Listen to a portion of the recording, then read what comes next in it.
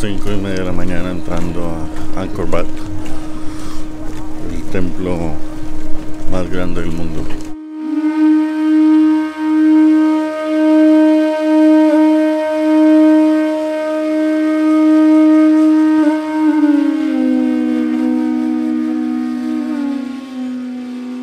Una de las sensaciones más extrañas de estar en Camboya es la aparente familiaridad de los paisajes.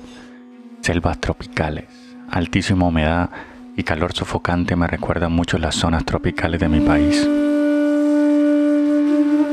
Camboya es uno de esos países de los que nunca escuchas.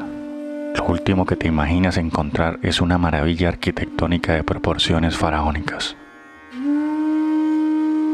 Pero eso es exactamente lo que hay aquí en Angkor Wat, una maravilla de la humanidad creada por el pueblo Khmer, dedicado a Vishnu, la deidad hinduista de la preservación del universo. Este complejo es una de las ciudades más extraordinarias que el mundo haya visto. Para su construcción se emplearon más cantidad de piedra que en todas las pirámides de Egipto combinadas. En su pico era una vasta extensión de templos y viviendas interconectados con carreteras y sofisticados canales que distribuían el preciado líquido a través de la ciudad.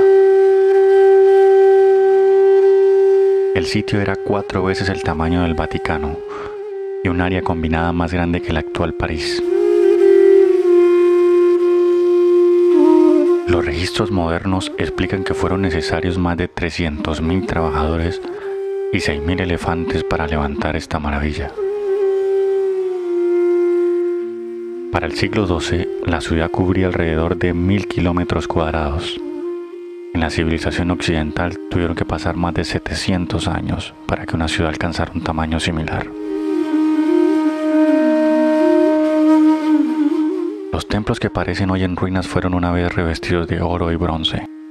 Los altos relieves en los extensos muros frecuentemente ilustran batallas épicas y deidades como Apsara, conocida como una de las bailarinas celestiales, el espíritu femenino de las aguas y las nubes, o el Buda de las cuatro caras, proveniente de la representación hindú de Brahma.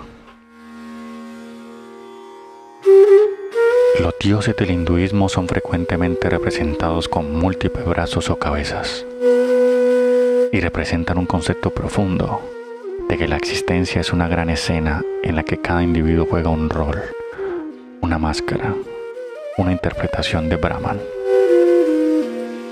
o Dios como lo conocemos en Occidente.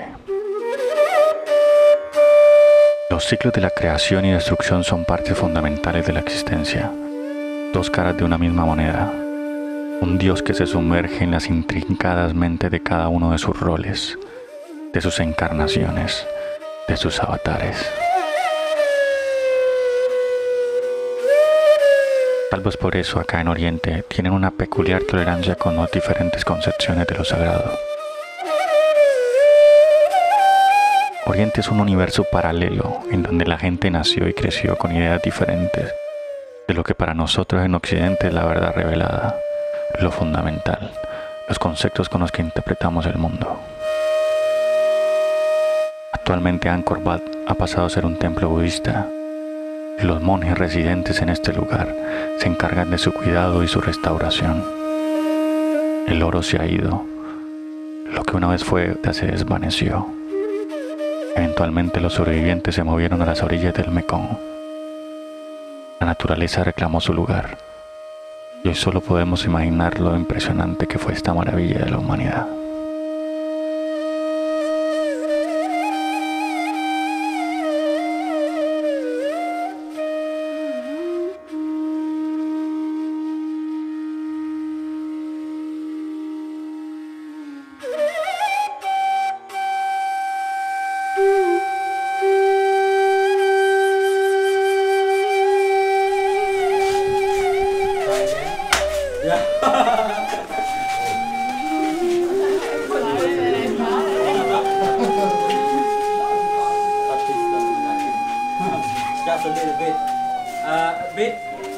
slowly, slowly you heard the sound. Let, let me try. Yeah. Yeah.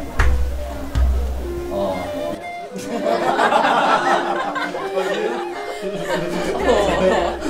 we all, we all had the bad feeling.